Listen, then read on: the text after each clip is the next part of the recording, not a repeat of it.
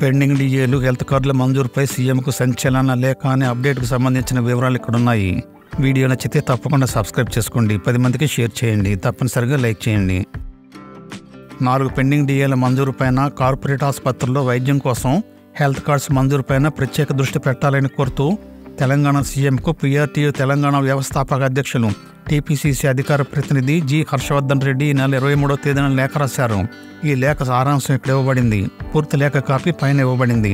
రాష్ట్రంలోని మహిళలకు అనేక సంక్షేమ కార్యక్రమాలు రాష్ట్రంలోని రైతులందరికీ రైతు రుణమాఫీ రైతు భరోసా ఇస్తూ కళ్యాణ లక్ష్మి షాదీ ముబారకులు అమలు చేస్తున్నందుకు ఎల్ఓసి చికిత్స పొందిన వారికి సీఎం రిలీఫ్ ఫండ్ ఇస్తున్నందుకు ఉద్యోగ ఉపాధ్యాయులకు పదోన్నతులు బదిలీలు పారదర్శకంగా జరిపించినందుకు ఒకటో తేదీని వేతనాలు ఇస్తున్నందుకు ముప్పై వేలకు పైగా ఉద్యోగాలు ఇప్పించినందుకు అభినందనలు తెలియజేస్తూ ఉద్యోగుల డిఏ పీఆర్సీ హెల్త్ కార్డులపై దృష్టి పెట్టాల్సిందిగా కోరుతూ పీఆర్టీయూ తెలంగాణ వ్యవస్థాపక అధ్యక్షులు టీపీసీసీ అధికార ప్రతినిధి జి హర్షవర్ధన్ రెడ్డి లేఖ రాశారు.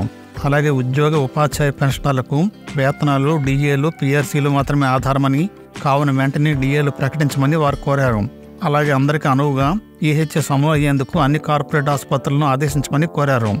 రాష్ట్రంలోని అన్ని గురుకులాల్లోనూ మోడల్ స్కూళ్ళలోనూ పనిచేస్తున్న వారందరికీ ఎంప్లాయీస్ హెల్త్ స్కీమ్ వర్తింపజేయాలని అభ్యర్థించారు.